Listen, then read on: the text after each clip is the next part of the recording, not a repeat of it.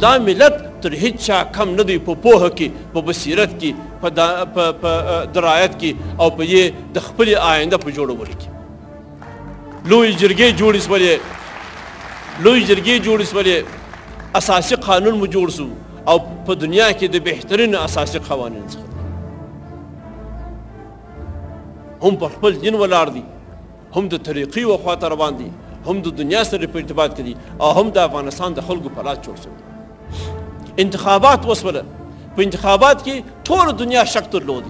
تبلیغات را پس کېدل چې دا افغانان به انتخابات ونه کړي دا افغانان په انتخابات نه پوهېږي دا افغانان به ښځې پرې نه ږدي چې انتخابات ته ولاړ شي دا افغانان به دا وکړي خو موږ به دنیا ته ویل چې یا انتظار وکړي انشاءالله افغانان به ثابته کړي چې په ډیموکراسي کې هم دا هیواد تر ټولو ستر هیواد دی غټه عنعنه د ازادۍ او د مردم سالارۍ لري د ولسواکۍ لري زموږ انتخابات د دې خاورې د افغانستان لپاره لوی ترین ټکی دی